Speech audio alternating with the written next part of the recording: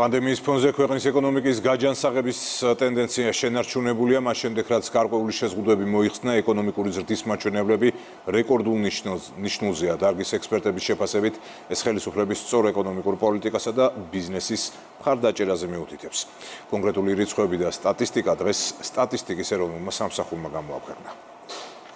ვაჭრობა, ხელოვნება, გართობა და დასვენება ჩამოთვლილმა დარგებმა მთლიანი შიდა პროდუქტის თითქმის 30%-იან ზრდაში მნიშვნელოვანი წვლილი შეიტანა. 2021 წლის მეორე კვარტლის წინასწარი მონაცემებით ეკონომიკური ზრდა წინა წლის ანალოგიურ პერიოდთან შედარებით 29.9%-ია. საქსტატის მიერ გამოქვეყნებული მონაცემების მიხედვით ზრდა დადასტურდა თითქმის ყველა სექტორში, გარდა განათლებისა და სოფლის მეურნეობისა. გასული წელი პანდემიის გამო შედარებით დაბალი აქტივობით ხასიათდებოდა და ესეთი მაღალი და დაკავშირებულია გარკვეულწილად ამასთან, თუმცა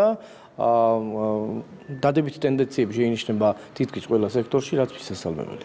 საქსტატის მიერ გამოქვეყნებულ წინასწარ მონაცემებში დასახელებული რიცხვები ფინანსთა მინისტრის მოადგილეს იმის თქმის საშუალებას აძლევს, რომ ეკონომიკა სწრაფად გაცოცხლდა და ქვეყანა სწორი ეკონომიკური სვლით მიდის. მიხეილ დუნდუას პროგნოზიც დამაიმედებელი აქვს და ამ ტენდენციის გაგრძელების შემთხვევაში წლის ბოლოს ის ეკონომიკური ზრდის ორნიშნა მაჩვენებელსაც ელოდება. საქართველოს რეგიონში და სოფლიოში გამორჩეულია ეკონომიკური ზრდის ასეთი მაჩვენებლით და სხვათა შორის საერთაშორისო ფონდის პროგნოზიც წელს და მომავალ მომავალ წელსაც გამორჩეულად მაღალ მნიშვნელობას აინჭებს საქართველოს ეკონომიკურ ზრდას. თუ ეს ტენდენცია გაგრძელდა, ჩვენ ბუნებრივია გვექნება წლის ბოლოს ორნიშნა ეკონომიკური ზრდა, რაც იუთითებს იმას რომ ქვეყანა მიდის სწორი მიმართულებით. ეკონომიკურ ზრდას განსაზღვრავს ბიზნესის პოზიტიური მოლოდინი, ასე ფიქრობს ბიზნეს ასოციაციის აღმასრულებელი დირექტორი, რომლისთვისაც ეს რიცხვები მოულოდნელი არ ყოფილა. ლევან ვეფხოძის თქმით, მიუხედავად პანდემიისა, ქვეყანა მისწავლა ბიზნესის განვითარება ეკონომიკის ჩაკეტვის გარეშე. ბიზნეს ასოციაციის ხელმძღვანელი იმ მიზეზებზეც საუბრობს, რამ განაპირობა ზრდის ეს მაჩვენებელი.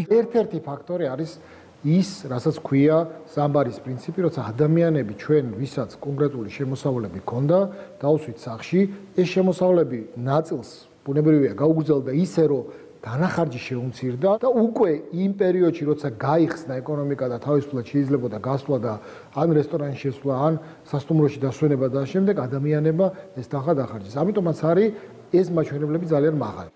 2021 წლის მეორე კვარტლის მაჩვენებელი რომ ოპტიმიზმის საფუძველს იძლევა ამას ადასტურებენ ანალიტიკოსებიც. ლაშა ქავთარაძის თქმით, რიცხვები ეკონომიკის მნიშვნელოვნად გამოცოცხლებაზე მეტყველებს. მისივე განმარტებით ამას კონკრეტული ნაბიჯები განაპირობებს, მათ შორის ფუადი გზავნილები, ექსპორტი და ტურიზმი. ფაქტობრივად აი ამ ზრდით ჩვენ შეგვიძლია ვთქვა, რომ ეკონომიკა არის მნიშვნელოვნად გამოცოცხლებული, თუმცა ასე ვთქვათ, რისკები მაინც არის ისევ და ისევ ეს პანდემია რჩება ერთ-ერთ ასე ვთქვათ გამოწვევად. ამიტომაც მთლიანობაში დადებითად უნდა შევაფასოთ, რაც გვაქვს გამოცდილება. 2021 წლის მეორე კვარტლის წინასწარი მონაცემები საქსტატმა დღეს გამოაქვეყნა. ეს ყველა სიახლეს გაიცნობთ როგორც ზემედინიოს წერტილი ჯი. ჩვენი მოსმენა ასევე შეგეძლიათ რადიო იმედი